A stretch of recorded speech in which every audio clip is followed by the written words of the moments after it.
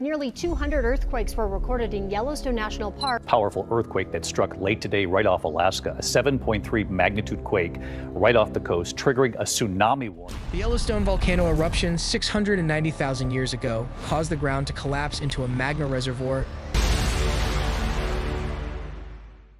What if America's crown jewel is sitting on a time bomb capable of wiping out civilization as we know it? Yellowstone is not just a park, it's a ticking clock. Beneath its forests and geysers lies the Red Yellowstone supervolcano, a geological beast so vast that scientists admit it could change the world in a single eruption.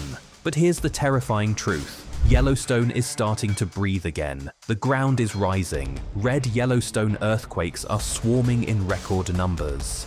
Gas emissions, including sulfur dioxide and carbon dioxide, are seeping at alarming rates, and geysers that slept for decades are suddenly roaring back to life. Is this the natural rhythm of a living planet, or the countdown to the Red Yellowstone eruption 2025 scenario that experts fear could devastate half the continent? Chapter 1 Yellowstone's Fiery Heart how much fire hides beneath the world's favourite park. Deep under Yellowstone's peaceful surface lies a magma reservoir stretching for 60 kilometers, a pool of molten rock so enormous it could cover entire states in volcanic ash. Scientists estimate over 1,000 cubic kilometers of magma are stored here. That's more than 10,000 times the size of Mount St. Helens' infamous 1980 eruption. The red Yellowstone magma chamber feeds geysers, hot springs, and fumaroles, acting like a valve for the monster below. But it's not enough to relieve the pressure. Experts warn that every geyser eruption is a reminder Yellowstone is still alive. What would happen if the chamber ruptured tomorrow? Models suggest an explosion 1,000 times stronger than Hiroshima. Ashfall could bury red Yellowstone eruption US cities like Denver, Salt Lake City, and even Chicago. Crops across the Midwest could be destroyed in a single season. Flights across the globe could be grounded for years. So we must ask, is Yellowstone's fiery heart just restless, or is it preparing for its next great outburst? Chapter 2 Yellowstone is breathing. Why is the ground rising and falling like a living creature's chest? Yellowstone's surface isn't solid, it moves like a giant lung. Since 2004, GPS sensors have recorded red Yellowstone ground uplift of up to 25 centimeters in some areas. To scientists, this is a red flag. Magma is shifting, in 2024 alone, over 3,000 red Yellowstone earthquakes rattled the region, most small, but clustered into seismic swarms. These swarms often precede eruptions in other volcanic systems. Could they be Yellowstone's warning heartbeat? Gas levels add to the alarm. Sulfur dioxide emissions have tripled in some areas. Carbon dioxide is venting at dangerous levels, proof of magma rising closer to the surface. Geysers once dormant, like Steamboat Geyser, have erupted multiple times, shocking even seasoned geologists. So here's the question, is Yellowstone's breathing harmless, or the final calm before the storm? If you want to uncover the shocking truth behind Yellowstone's secrets, make sure you hit subscribe right now. Don't wait until the ground shakes. Stay ahead of the eruption before it's too late. Chapter 3 History of Disaster what can Yellowstone's past tell us about our future? The story of Red Yellowstone's supervolcano eruptions is written not in books, but in the land itself. Beneath its steaming geysers and bubbling mud pools lies a record of three unimaginable cataclysms. Events so violent they scarred an entire continent and left behind red Yellowstone caldera scars still visible from space. The first was the Red Huckleberry Ridge eruption about 2.1 million years ago, an explosion so colossal that it ranks among the largest volcanic events in Earth's history. Ash blanketed half of North America, skies darkened, temperatures plummeted, entire ecosystems collapsed in the choking grip of volcanic winter. It was a reminder that Yellowstone's power reaches far beyond the park's borders. The second came 1.3 million years ago, the Red Mesa Falls eruption, smaller in scale but still devastating enough to send ash across continents and trigger global climate disruptions. This wasn't just a local disaster, it was planetary in scope. Crops withered, animal populations crashed, and the world felt the weight of a sleeping giant's stirrings. Then, 640,000 years ago, came the Red Lava Creek eruption, reshaping Yellowstone into the vast crater, the caldera we see today. This eruption ejected more than a thousand cubic kilometers of rock and ash, dwarfing anything in recorded human history. Imagine Mount St. Helens, but 1,000 times more powerful. The land we walk on today is literally molded by that ancient fury. Each eruption plunged Earth into years of volcanic winter, reshaping climates, altering evolution, and forcing life itself to adapt or perish. Each eruption is proof that red Yellowstone eruptions past and future are not myth they are inevitability. So here's the chilling question. If it happened three times before, why wouldn't it happen again? The last eruption was 640,000 years ago. Scientists remind us that Yellowstone does not erupt on a strict schedule, but the silence of 640,000 years is not safety, it's suspense. If the Red Yellowstone Eruption 2025 scenario became reality, would our fragile, interconnected world survive? Could modern civilization withstand years without harvests, skies blackened by ash, and economies shattered overnight? Or would Yellowstone's history become humanity's final warning? Chapter 4 The Hidden Signals. Are the clues already here, and are we ignoring them?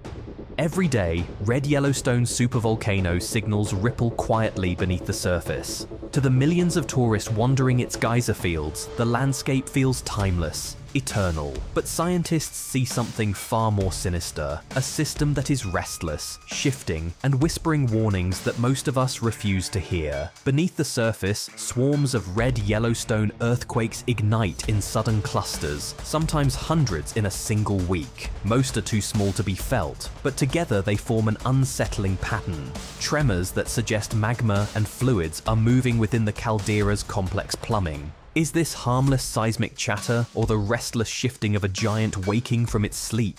The very ground beneath Yellowstone is alive. Satellite measurements reveal the red Yellowstone caldera deformation, swelling and sinking like a great heaving chest. In some years, the floor rises by several inches, as if pressure is mounting below. Then, without warning, it drops again, like the system exhaling. But what if this breathing is not stability at all, but the build-up before a violent release? The air itself carries warnings. Vents release red Yellowstone gas emissions, carbon dioxide and sulfur dioxide surging in unusual amounts. These gases poison animals, scorch vegetation, and in the past have been linked to eruptions. Some experts insist these spikes are natural cycles. Others warn they are unmistakable precursors of a system under stress. And then there are the geysers. Iconic features like Steamboat Geyser have erupted with unprecedented vigour, while new hot springs appear where none existed, and old ones suddenly fall silent. Even satellites orbiting high above Earth detect red Yellowstone thermal anomalies, strange heat signatures shifting in ways never recorded before. So the question is terrifying in its simplicity. Are these signs nothing more than Yellowstone's normal heartbeat? Or are they the first cracks in the countdown to catastrophe? If the supervolcano truly is preparing to awaken, are we ignoring the very signals that could one day decide the survival of millions? Chapter 5 A Blast Beyond Imagination what would happen if Yellowstone erupted tomorrow morning? Imagine this, sunrise over Yellowstone, tourists stroll boardwalks, cameras flashing at Old Faithful. Suddenly, the earth convulses. A deafening roar splits the air. The ground fractures as a column of ash erupts 20 miles into the sky. Within 24 hours, ash blankets half the United States. Denver is buried. Kansas farmland suffocates. Flights across North America are cancelled indefinitely. Within weeks, a red Yellowstone volcanic winter begins. Ash blocks sunlight, dropping global temperatures. Crops fail in Asia, Africa, and Europe. Supply chains collapse. Economists predict trillions lost and millions facing starvation. This wouldn't just be a national tragedy, it would be a planetary crisis. Could civilization as we know it survive? Chapter 6 Prediction or Preparation? Is science enough to save us? Here's the cruel truth. We cannot predict the exact day or year of a red Yellowstone supervolcano eruption. Scientists can only measure probabilities, not certainties. The Red Yellowstone Volcano Observatory tracks every tremor, every gas surge, every inch of land uplift. Satellites monitor heat. Seismometers catch whispers of magma shifting. And yet, earthquakes strike without warning. Volcanoes erupt after centuries of silence. So the real question isn't prediction, it's preparation. Are we building shelters? Are we stockpiling supplies? Are global leaders ready for a disaster that could cripple agriculture, trade, and entire nations? Or are we ignoring the warning signs, hoping Yellowstone stays asleep a little longer? Chapter 7 Yellowstone's Final Warning The silence is not safety, it's suspense. Every day Yellowstone stays quiet feels like a blessing. Tourists marvel at Old Faithful, campers hike its trails, and families picnic beside steaming hot springs. But beneath the postcard beauty, the truth is far darker. Silence in Yellowstone is not calm, it's pressure. The red Yellowstone supervolcano is still alive, still restless, and still holding secrets that could change the world. Scientists monitoring the region know this well. Red GPS monitoring Yellowstone reveals ground swelling, millimeters each year, a sign of magma rising, Red Yellowstone gas emissions show carbon dioxide and sulfur dioxide leaking from the crust, whispering of activity below. Even small quakes, sometimes hundreds a week, mark the restless shifting of a system too vast to ignore. Each tremor is a reminder, this sleeping giant is not dead. And here's the chilling part. History shows Yellowstone erupts in cycles. Three times in the last 2.1 million years, it has unleashed red Yellowstone mega eruptions, each thousands of times larger than Mount St. Helens. Each time it reset ecosystems, changed climates, and scarred continents. The clock hasn't stopped ticking. We are simply living between eruptions. So what would happen if Yellowstone's silence suddenly broke? Would it start small, with geysers failing and ground swelling until people notice something's wrong? Or would it explode without warning, and red apocalyptic Yellowstone eruption scenario where ash blocks the sun, crops fail worldwide, and billions face famine? Even scientists admit prediction is impossible. They can measure, they can model, but they cannot guarantee safety. Every year of silence is not reassurance, it's suspense. So we must ask, is Yellowstone's final warning already happening in the subtle signs? The gas leaks, the rising ground, the constant tremors? Or are we ignoring the clues, mistaking the calm before catastrophe as safety? Chapter 8 Ashfall, Apocalypse, America Buried Alive. What if the deadliest effect of Yellowstone isn't lava, but ash that smothers half a continent? Most people imagine rivers of lava when they think of volcanoes, but with the red Yellowstone supervolcano, the real killer is ash. Models show that if Yellowstone erupted at full force, it could hurl red volcanic ash Yellowstone eruption up to 20 miles into the atmosphere. Winds would carry it across the United States within days. The red Yellowstone ashfall map is terrifying. Wyoming, Montana, and Idaho could be buried in several feet of choking debris. Denver, Salt Lake City, and even Chicago could receive inches, enough to collapse roofs, poison water supplies, and ground aircraft indefinitely. Fine ash particles would infiltrate engines, computers, and lungs, making entire regions uninhabitable.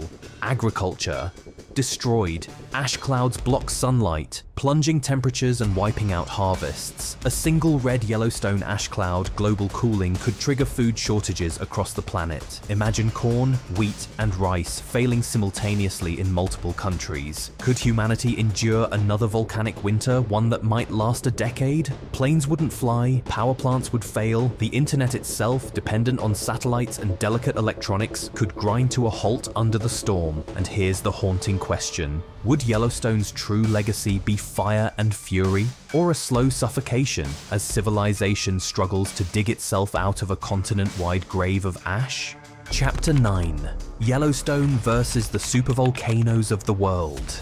Is Yellowstone the most dangerous volcano on Earth? or just the one we fear the most? When people hear the word red supervolcano, one name dominates the imagination, Red Yellowstone. But Yellowstone isn't the only ticking time bomb beneath our planet's crust. Across the globe, other giants lie in silence, monsters whose past eruptions nearly ended civilizations and reshaped the course of history. Take Red Toba in Indonesia. 74,000 years ago, it unleashed an eruption so colossal it plunged Earth into a volcanic winter. Ash and gases darkened skies, global temperatures plummeted, and humanity itself teetered on the brink of extinction. Genetic studies suggest our species may have been reduced to just a few thousand survivors. Imagine that same scale of destruction today in our interconnected, fragile world. Or consider Red Taupo in New Zealand whose violent eruptions over the past 10,000 years shattered landscapes and spread ash as far as Antarctica. Even in recent centuries, Taupo has shown it can explode with a force unmatched by most volcanoes alive today. Then there's Red Campi Flegrei in Italy, a hidden caldera lurking beneath Naples, surrounded by millions of people. Scientists warn that even a medium-scale eruption here could devastate Europe, sending shockwaves through global economies. And in Japan, the Red Aira caldera threatens one of Asia's most densely populated regions, a reminder that explosive fury lurks right beneath modern cities. Yet despite these threats, Red Yellowstone Eruption Risk USA stands apart. Why? Because of its scale, its central location, and its global consequences. Unlike remote Toba or Taupo, Yellowstone sits in the very heart of North America, surrounded by farmland that feeds the world, cities that power global trade, and infrastructure that ties nations together. If Yellowstone were to erupt, its ash wouldn't just blanket the United States, it could choke skies worldwide, cripple harvests, collapse supply chains, and spark wars over food, energy, and survival. Scientists call it a global threat multiplier, Yellowstone wouldn't be just another disaster, it would be the disaster, the one that defines human history, which raises the most terrifying question of all. What if Yellowstone erupts before any of its rivals? Would it become the cataclysm that no civilization, no matter how advanced, could ever forget? Chapter 10 A World Without Sun Yellowstone's Climate Catastrophe. What if Yellowstone's eruption turned summer into winter and day into night? The deadliest legacy of a red Yellowstone eruption supervolcano may not be ash or earthquakes. It may be the sky itself. When a supervolcano blows, it injects sulfur aerosols and ash into the stratosphere. These particles reflect sunlight, cooling the planet for years. Scientists call this effect a red volcanic winter Yellowstone. History offers clues. After the eruption of Tambora in 1815, the world endured the year without a summer. Crops failed, famine killed millions. Now, scale that up a hundred times, and you have Yellowstone. Models show that a super eruption could lower global temperatures by 10 degrees Fahrenheit for up to a decade. Ice sheets could expand, ocean currents could shift, entire ecosystems could collapse. But the human toll would be even greater. Billions rely on industrial farming, fragile supply chains, and global trade. What happens when crops fail on multiple continents at once? What happens when livestock starve? When rivers freeze earlier? When energy grids collapse under the demand for heat? Even more terrifying, Red Yellowstone eruption climate models suggest that the sudden cooling could trigger geopolitical chaos, nations fighting for dwindling food supplies, mass migrations, conflict over resources like never before. So here's the chilling thought. Could Yellowstone's eruption be the disaster that doesn't just destroy cities, but rewrites the climate of Earth itself? If this vision shook you, don't wait for the ash to fall. Subscribe, share this video, and join us as we uncover more hidden threats beneath the Earth's surface. Because when Yellowstone breathes again, the question isn't whether life will change, it's whether humanity is ready to survive what comes after.